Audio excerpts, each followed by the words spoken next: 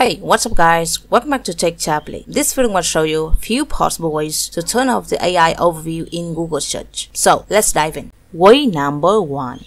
Make Google Search Web Filter as your default search results. As far as I am concerned, the AI overview in Google Search is only shown when we are on the All Search Results tab. So here you have to make sure that you're choosing Web tab for filtered results. However, if you don't want to click on Web Results tab page every time you perform a search on Google, then here is what you need to do. First step, make sure you're signed in on your Google account. Next, on your Chrome browser, click on three dot menus icon on the top right corner and go to settings. Next, click on on startup. Now select open a specific page or set of pages. Click on add a new page. Then enter this Google search web filter result page URL. Click on add to finish.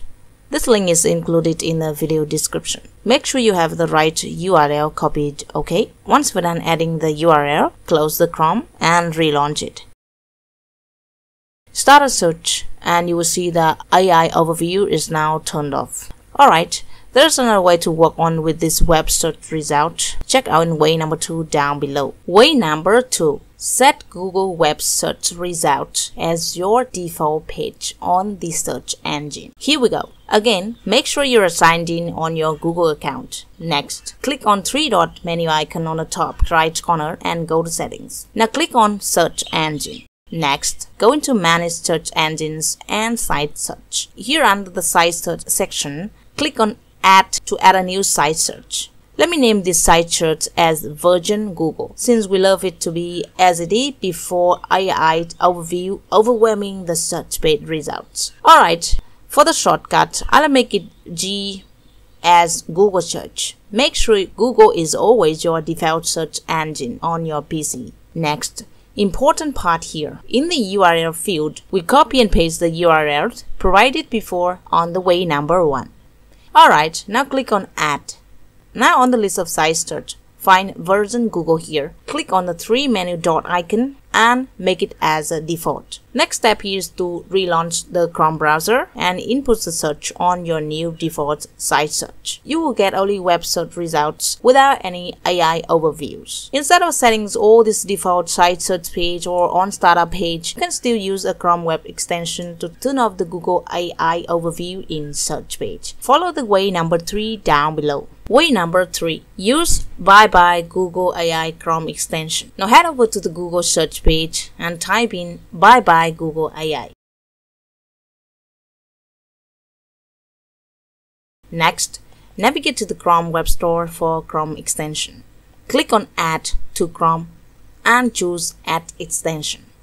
This Bye Bye Google AI is not only helps you to get rid of the Google AI overviews, but more than that, you have options here to choose for showing on your search result page. Select options and click on Save. Now just open a new tab and type in your search query.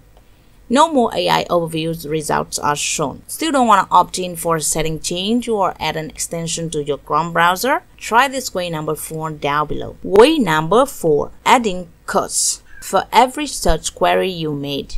Alright, this way number 4 don't get you involved in technical settings anymore. But it's revealed unto you that the AI overviews might dislike the word curse. So anytime you perform a search on Google page, just add the word curse after your search query. So let me just try it out first without the curse word. Wow, AI overview is there. Now we'll add the curse word and that's AI has gone. Alright, that's it for today's video guys. Thanks for watching and, and don't forget to like, share and subscribe to my channel for more videos later on. Bye for now.